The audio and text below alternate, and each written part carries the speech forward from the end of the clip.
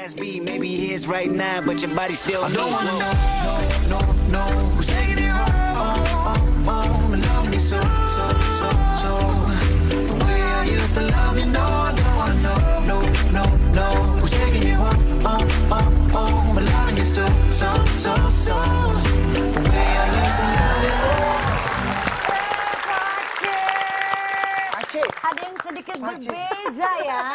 Kenapa? Kok dia nge-DJ pakai duit ya Wanabut? Masa sih? Ente pakai- mau nunjukin kalau ente dapat duit? Iya. Wah. putra duit nggak? Nggak ada. Mau ini? Nggak. Oh, Bekas Kenapa gesekan. lu nge-DJ pakai duit, Cek? Ada temen gua nge-DJ pakai duit. Dik. Bohong lu. Beneran. Coba dilihat nih, ini fakta atau hoax ya. Ada video seorang DJ yang memainkan vinil dengan piringan hitam pakai duit kertas. Jadi gesekan uang di vinil itu membuat suara yang dihasilkan jadi berbeda. Coba kita lihat. Kita dengerin ya. Tuh. Bisa begitu ya? Ya tetap tapi tetap pakai DJ-nya bukan duit bisa nge-DJ ini sih. Oh, oh, cuma dia pakai pakai duit ditaruh gitu ya. Heeh. Ujungnya kan bunyi. Oh, oh, dia juga bunyi. bunyi. Bunyi.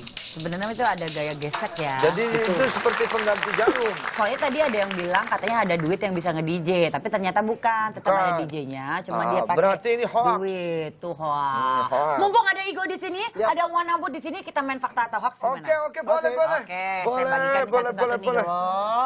Fakta Ah. atau hoaxnya, ini ada beberapa pertanyaan, tinggal dijawab aja kira-kira pernyataan ini fakta atau Igo udah hoax. sarapan belum? Belum, saya belum sarapan. Sama anu juga belum. Yaudah ya, fakta atau hoax? Di Cina ada desa yang penduduknya berambut pirang dan bermata hijau. Di Cina loh. Berma- Satu desa penduduknya pirang. tuh rambutnya pirang, Rambut matanya pirang. hijau. Hoax.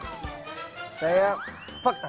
Fakta. Ya. Kenapa menurut Soalnya kalau di daerah saya juga ada juga di daerah timur itu ada Hmm. yang sebenarnya kalau kita kan orang orangnya kulitnya hitam semua Oh. di Maluku di situ. Tapi ada yang satu daerah yang punya ciri khas sama seperti kayak orang luar negeri. Jadi matanya biru, kulit apa rambutnya juga pirang. Lebih ke bisa juga? Kalau anda hoax, Tapi anda masih nggak percaya? Anda menurut anda karena hoax? di Cina soalnya di sini Iya. Ayo rambutnya nggak kan ya. pirang ya Asia ya biasanya. Biasanya ya. iya. Kalau pirang itu biasanya dicat. Baiklah saya eh, kasih penjelasannya ya. Iya. Atau hoax di Cina ada desa yang penduduknya itu berambut pirang dan matanya itu hijau. Ada sebuah desa di Cina yang namanya Zlaza. Penduduknya itu punya fisik yang sangat unik, menyerupai orang Eropa. Sejumlah warga itu mempunyai hidung yang mancung, rambut yang pirang, dan matanya pun hijau. Jadi menurut Daily Mail, Hmm, ini pernah dilakukan penelitian DNA dan hasilnya memang warga dari Zelaya ini memiliki gen Kaukasia yang sama dengan warga Eropa. Tuh lihat tuh, matanya hijau, rambutnya pirang. Ini jawabannya adalah fakta. fakta. Oke, berikutnya. Fakta atau hoax. Ada kota yang dihuni 100 ribu monyet liar. Hoax. Sama hoax. Kenapa emang?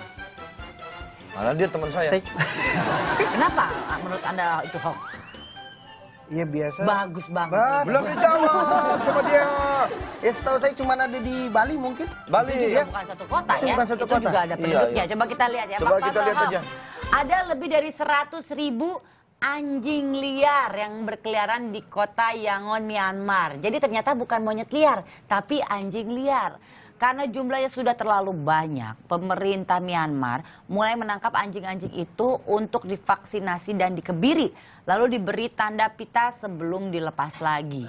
Karena banyaknya anjing liar, Myanmar menjadi negara dengan tingkat rabies tertinggi kedua di Asia Tenggara. Makanya mereka mulai gerakan vaksinasi. Oh, begitu. jadi ada satu kota yang isinya adalah 100 ribu anjing liar. Kalau tadi saya bilangnya anjing. monyet liar. Iya, ente bilang monyet. Oh, iya, makanya berarti jawabannya adalah hoax. Ada Hoax, betul benar.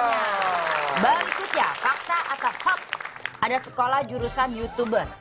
Menurut? Ana, uh, ini sebetulnya akan diadakan, tapi belum sekarang. Jadi menurut Ana ini Masih hoax. masih hoax. Masih ada nggak sih sekolah jurusan YouTuber? Udah ada belum?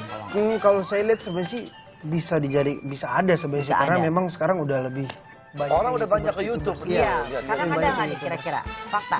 Kalau di Indonesia mungkin belum, tapi kayaknya di luar ada. Berarti fakta ya? Iya, fakta. Fakta. Coba kita lihat. Oke, yang satu fakta, yang satu hoax. Kita lihat fakta atau hoax ada sekolah jurusan YouTuber kampus di UK City of Glasgow College itu membuka jurusan untuk mempelajari bagaimana caranya menjadi YouTuber dan vlogger. Jadi betulan ada ya.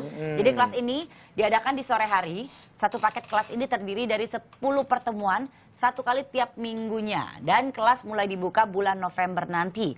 Jadi kelas ini dihargai 150 euro atau sekitar dua setengah juta rupiah. Jadi betul ada kelas youtuber atau jurusan Ada, youtuber ada. di UK di City of Glasgow. Ada rupanya. Ya, Hmm, berarti benar dan dua poin lagi Dua poin. ditambahkan, eh satu poin lagi ditambahkan jadi nilainya tiga poin untuk Igo Anak dan baru terus. satu poin untuk One. Aduh. Pertanyaan terakhir ini nilainya 2000 ya. Banyak banget. 2000 Itu pertanyaan apa ongkos ojek? Jadi kalau Anda betul Anda bisa menyusul. Ya. Oke, Iya, Ana coba, iya, Ana iya, coba. Fakta atau hoax? BPOM BPOM itu mengeluarkan surat edaran daftar minuman terlarang. Fakta. Buat Bepom. Fakta, Bepom, fakta, fakta, fakta. fakta. Sudah mengeluarkan ada tuh yang rame banget tuh. Ini mengeluarkan surat minuman terlarang. Fakta. Fakta. Coba kita lihat.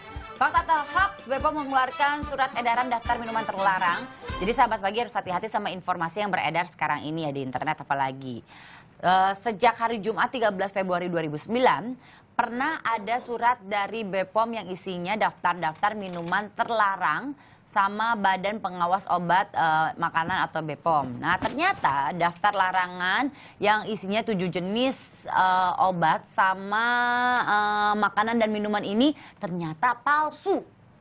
Jadi kepala BPOM yang menjabat saat ini menyatakan kalau dia membantah kebenaran foto surat tersebut. Jadi ternyata peredaran surat mengenai minuman-minuman terlarang itu adalah palsu. Palsu Atau berarti. mungkin buatan seseorang yang ingin menjerumuskan suatu brand-brand Ya. tertentu. Iya, Jadi Anda dua-duanya salah dan ternyata pemenangnya adalah Igo. Tapi dengar-dengar lagi ada single lagi ada single baru, Bro. Ya, jadi sekarang saya lagi keluarin single terbaru saya. Eh, yang kedua kali judulnya. Saya mencoba untuk dengan style yang baru ya, gondrong juga. Dengan Dulunya nggak gondrong? Dulu nggak gondrong. Saya dulu gondrong. cepak dulu. Iya. Iya. Wah. Dan sekarang udah single yang kedua, yang yang berikut ini yang kedua kali. Nyanyi di sini Oh, dong. pasti, pasti. Ana pengen tahu. Singin dekat? Ah, singin Eh, dekat singin boleh. dekat. Iya, iya, iya, iya. Itu nyanyinya di mana ya? Ah, di mobil, namanya juga Di kar. mobil. Oh, Oke. Eh sebentar, Cek, buku buku yang lu pinjem mana, Cek? Balikin dong, Cek, gue mau masak. Eh, soalnya katanya Oh, ini buku Mer- masakan? Iya, katanya Tante Mer katanya kan oh, mau masak lagi. betul. Sekarang mau, mau coba lagi yang lain. Itu buku lepek banget. Cek, kok basah sih, Cek? Ketumpahan minuman. Cek, basah banget, Ini Cek. gimana dibacanya kalau begitu? Ya gimana nih, Ya, Cek? maaf. Ya ampun, Cek. Nempel-nempel semua, Cek. Udah, oh. Dikeringin aja ntar. Nanti aja nanti ada caranya mengeringkan buku tanpa harus dijemur. Kalau dijemur nempel semua. Ya Pak. makanya nanti Ala kasih tahu. Si Andre itu bisa itu. Ya udah, ya udah, ya udah. Igo berarti siap-siap buat Siap, pasti siap, singin ya. Thank Ya, you ya, Igo ya. Terima kasih. Sukses, semuanya. Igo. Ya udah jangan ke mana-mana, tetap dibagi-bagi. It's right